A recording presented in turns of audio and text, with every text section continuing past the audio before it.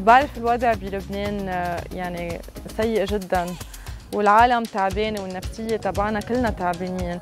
بس ما بدنا هيدا الشيء يأثر بالعكس بدي إنه نغير شوي واجهة إنه نخلي هاللبنانية شوي ياخذوا نفس أكثر لأنه بعد في باب الرياضة يلي ممكن يجيب أمل للبنان.